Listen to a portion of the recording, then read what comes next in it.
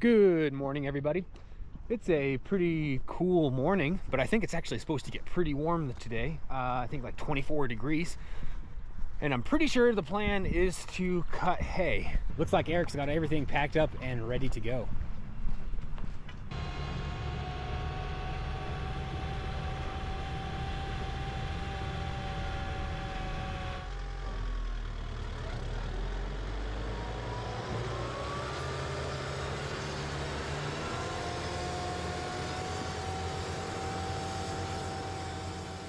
In the last episode, we were preserving grass for the winter by fermenting it, also known as making silage. Now, the other method that I mentioned in that video was drying the grass. This is known as making hay. And of course, the first step in drying grass is to cut the grass. So when we pulled in with the Aebi, just sank in the mud. This field is still too wet. So we're gonna be cutting the whole thing with walk behinds. It's gonna take quite a bit longer, but um, yeah, it's better than getting mud in your hay.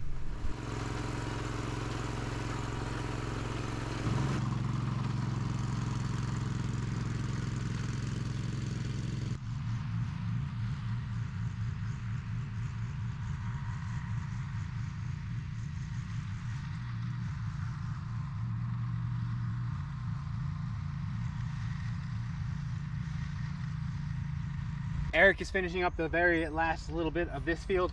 So we are done. Up above is actually part of this field as well, but it's kind of a different land classification, so we won't be cutting that until August. I'll explain that in a future video. There's several other fields that we're gonna be cutting today as well, so we're gonna move to the next one. In the US and especially central US, a lot of hay is cut on wide open fields. Almost all of the work can be done from inside of a tractor. You can cut the hay with a tractor, you can ted the hay with a tractor, you can rake the hay with a tractor, bale it with a tractor, and then with these big hay bales, you also pick them up with a tractor. Oftentimes you don't even need to get out of your tractor. But for the majority of Switzerland, it's not like that at all. This one's next. I think it's dry enough that we can run the Aebi on it, so I think it's gonna go a lot faster.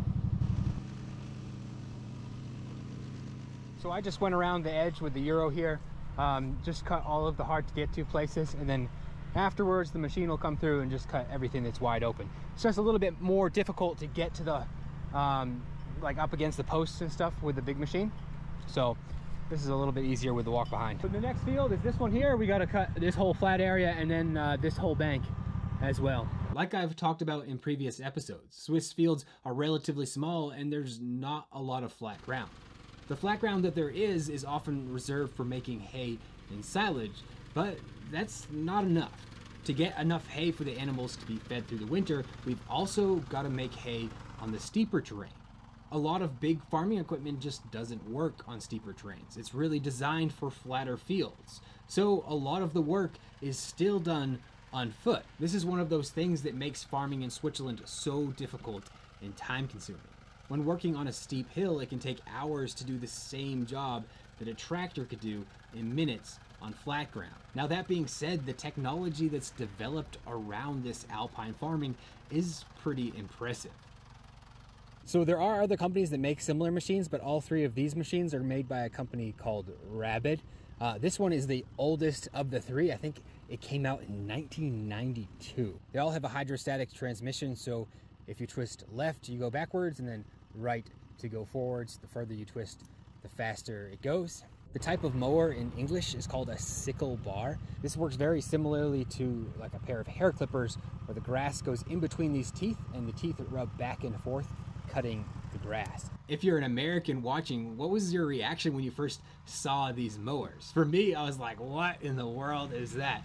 Are those tires? What's up with the big spikes why is it so funny looking? I at least had never seen anything like this in America or heard that anything like this existed. I had known that sickle bar mowers had been used in the past, like when they were pulled behind a horse, but I thought that they had all been abandoned were sitting behind somebody's barn rusting. I didn't know that they were still used today. Nowadays, you most commonly see these drum and disc style mowers similar to what's on the Aebi.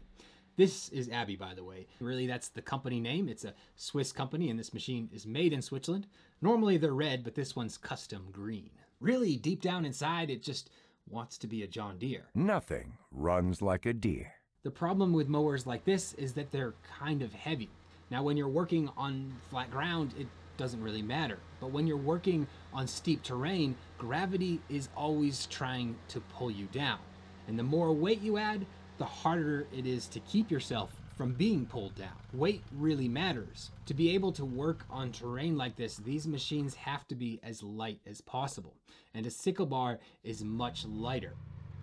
The massive spikes in the wheels help keep the machine from sliding, and the wide wheelbase and very low center of gravity make it very stable, so it can cut grass on very steep terrain. Before, these banks would all be cut by hand with a scythe. This would probably take all day to do the same job that we do in just an hour or so.